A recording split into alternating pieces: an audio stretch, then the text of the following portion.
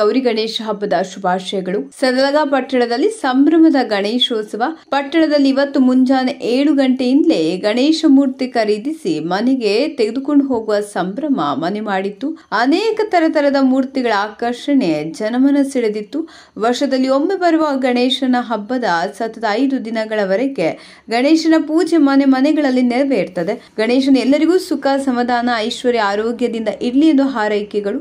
ICB ವಾರ್ತೆಗಾಗಿ ಸೊಲ್ಲಗಾರಿದ ಕೈಲಾಶ್ ಮಾಳಗೆ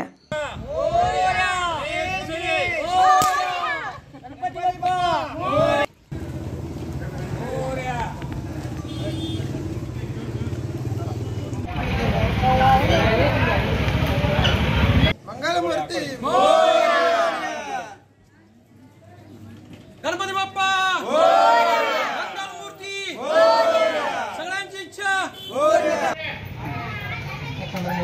ಪರಿಸರ ರಕ್ಷಣೆ ಮಾಡೋರು ದಕ್ಷಿಣ